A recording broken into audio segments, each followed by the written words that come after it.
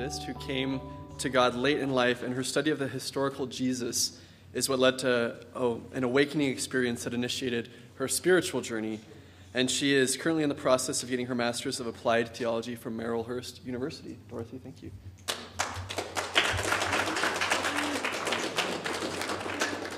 It's an honor to be here today. I very much appreciate the uh, opportunity to speak with you. I am a Methodist, but I must stress at the outset that my views do not reflect the views of the Methodist denomination. Um, a key question for us here today is what does spirituality mean? Is an electronically or pharmacologically induced religious experience the same as spirituality? Both may give us a sense of euphoria. Both may allow us to step outside our own egos to observe our own neurotic behaviors. Both may trigger feelings of unity. So, what's the difference? A drug wears off. Spirituality is incorporating insight from peak experiences into our everyday lives. Spiritual engagement is ongoing allowing access to that part of us that is more fundamental than the I, that which creates the we. It teaches that our lives are interconnected with the lives of others. It reshapes our being so that we strive not simply to repeat the peak experience, but to live up to and into those images of ourselves and others. It is not simply a feeling, but a call to action and interaction. Spirituality is the growing realization that we are connected to all of humanity and that to do harm to others is to do harm to ourselves. The uniting role of spirituality is borne out by science. Neuroscience, with the discovery of mirror neurons and other processes, is beginning to support the idea that empathy is a part of our evolutionary development. We are actually soft wired for sociability, attachment, affection, companionship, and the first drive is to actually belong. Through brain research, we're able to see the biological processes underlying our experiences of transcendence and our connections with others. According to the Neuro Revolution, how brain science is changing our world, in studies done by Dr. Newberg with people having mystical experiences, the conclusion is it wasn't an either or situation, but rather two different and non conflicting ways of describing the same experience.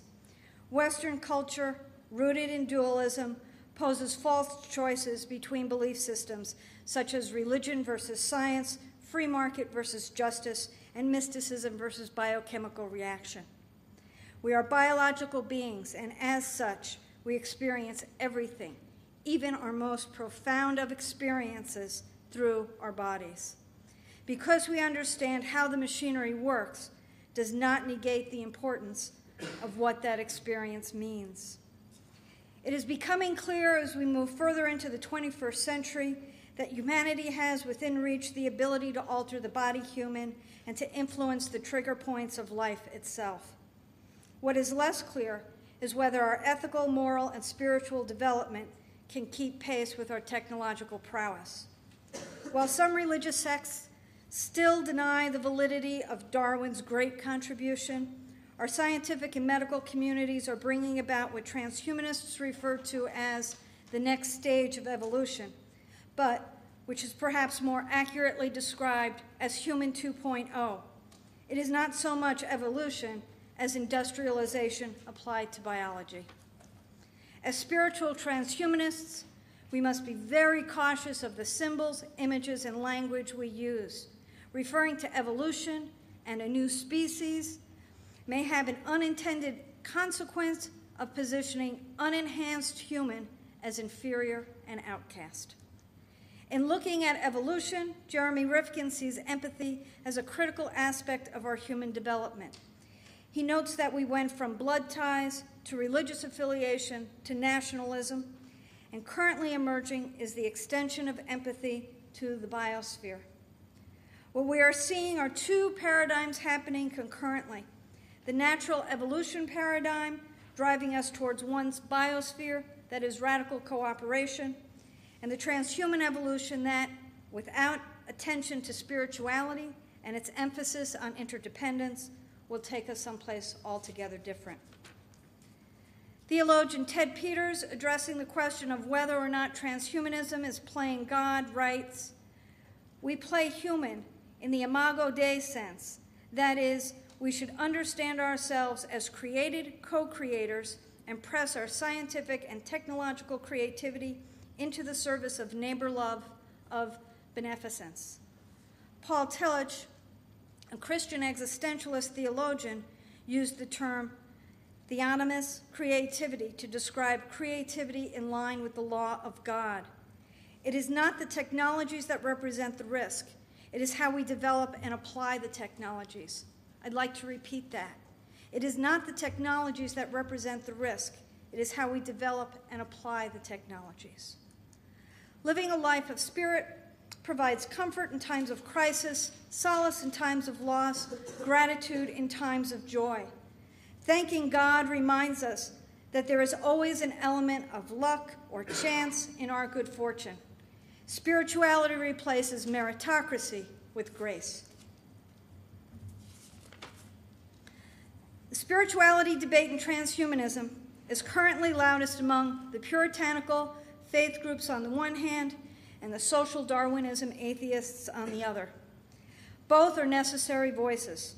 The puritanical opponents remind us that of the importance of the sanctity of life, but they risk going too far by trying to halt scientific exploration and innovation. Uh, it's foolish and it prolongs suffering.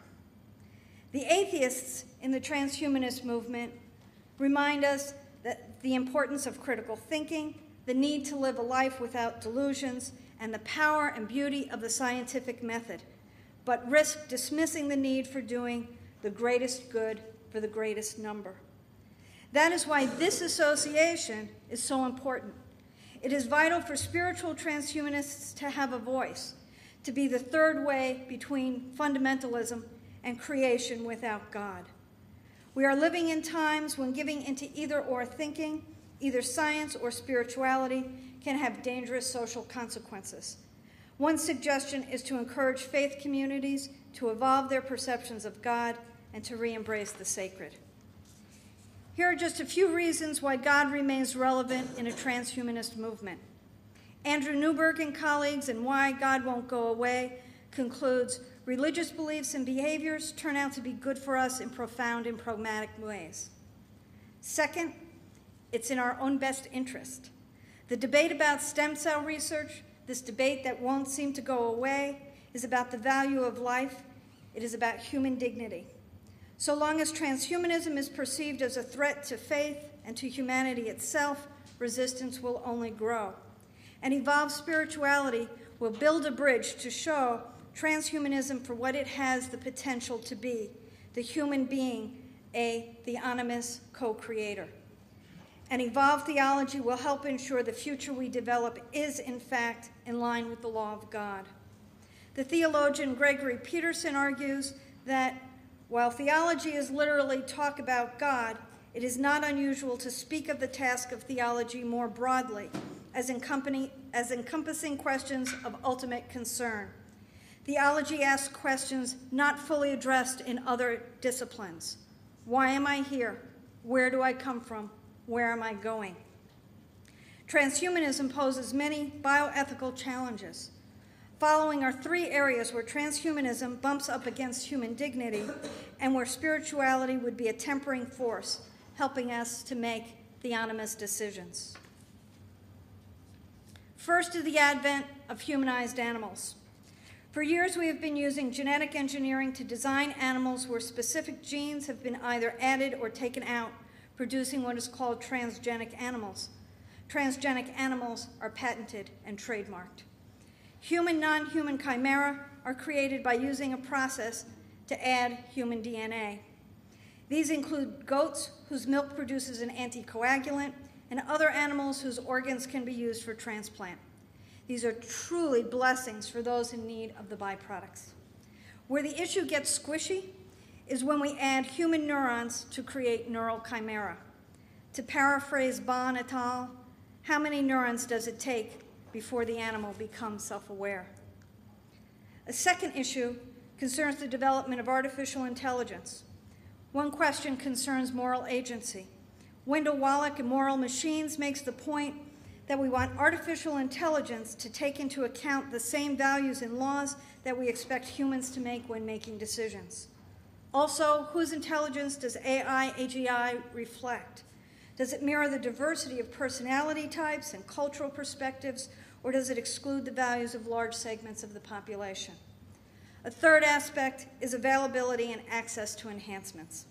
We must realize that as we move further and further into personalized medicine, that many, if not most, people will not benefit from transhuman technologies. With the enhanced living side by side the unenhanced, how do we ensure beneficence rather than indifference, compassion rather than exploitation? Each person and each denomination will need to examine what evolving theology means. For me, it includes the following a move away from religion while simultaneously re embracing concepts of the sacred. Keeping the concept of mystery, but losing the idea of supernatural. God may be larger than our scientific understanding, but God is not in opposition to our scientific understanding. For me, evolving our theology means putting the wisdom teachings forward and using the stories and personalities only as support. It also may mean breaking away from exclusivity and embracing the vast diversity of beliefs, actions, and places where the sacred is found. Evolving theology reintroduces a reliance on paradox. Morris Berman, in Wandering God, a study in nomadic spirituality, discusses paradox as being able to hold contradictory propositions or emotions simultaneously. It is the opposite of certainty. The role of spiritual guides is to replace dogma with questioning to provoke seekers to examine their belief systems and to ask larger questions. Part of evolving spirituality is paying attention to how we image God. God may be imagined within a model from concrete to conceptual. In such a model, God at the tangible, concrete end is imagined as an entity, the creator. Humans today are in the role of creator of life, with the ability to create new life forms and synthetic DNA. For non theists, such an image of God sidelines spirituality, dismissing it altogether. If we move further down the continuum, we might imagine God as a force, that which unifies the universe and connects humanity with the cosmos. Those who seek meaning from God may think of this as order and chaos, flow, or the rightness of the universe. From a human created standpoint, such a force may be perceived as the singularity, the joining together of human machine consciousness. As we move away from the concrete to the conceptual, God may be perceived as experience. The miracles in the New Testament may be read as exaggerated examples using story form of the ways in which God is expressed in our lives. God moments may be those times when our hearts or minds have been reshaped, transformed. God is that which creates a change of perception. Steven Spielberg showed this in the film Schindler's List when he showed Liam Neeson's change of heart by demonstrating one small child wearing a red coat in an otherwise black and white film. The world and circumstances remain the same, but there is a shift within us, within the way we perceive the world that forever alters our lens and changes the trajectory of our lives. It is this ephemeral, intangible experience that will challenge the AI world. We must not only create consciousness, but we must create consciousness that has the ability to experience paradigm shifts in perception as well as intellect. At the furthest end of the God continuum is the purely conceptual. At this end, God may be imagined as compassion, as agape, selfless love for the other, human dignity, or the interconnected web of life. The root of all faiths, what they all have in common, is the golden rule do unto others as you would have them do unto you. The need and purpose of God, the one that is enduring and will not become obsolete, is the one that embodies the concept of interconnectedness. Spirituality is needed to engage in a daily practice of checking our own hedonism and our own hubris in deference to something greater, It reminds us that our deficiencies are also gifts. Herbert Muller, in his work The Uses of the Past, said, Our business as rational beings is not to argue for what is going to be, but to strive for what ought to be, in the consciousness that it will never be all that we would like it to be. Transhumanism has not one predestined future, but multiple possible futures and multiple paradoxical futures.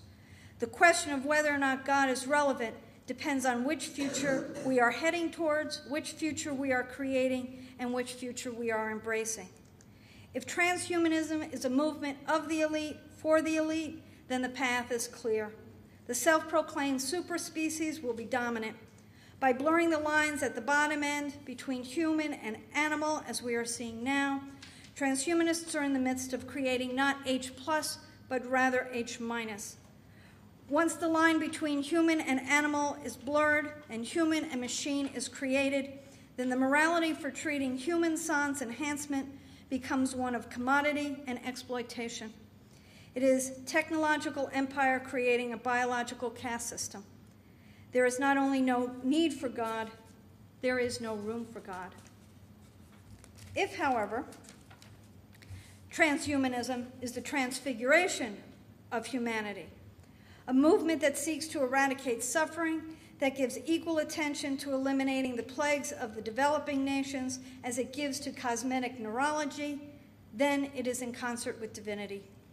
If it believes the singularity is the tapping of all ingenuity, all knowledge, all gifts, including the Dalit of India, including the artist, including the unenhanced, then God is glorified.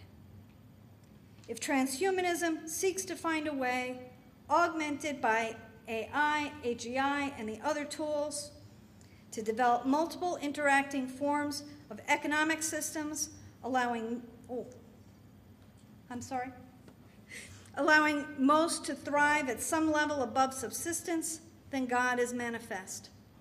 If transhumanism is truly human plus, so that the human potential that is currently laying fallow is uplifted and nurtured, then transhumanism is realizing the vision of the kingdom. God is relevant because God remains as God always was the whole, the entirety, the unity of creation. So, my role here today, among those who are my scholarly and academic superiors, is to ask which transhumanism are we creating?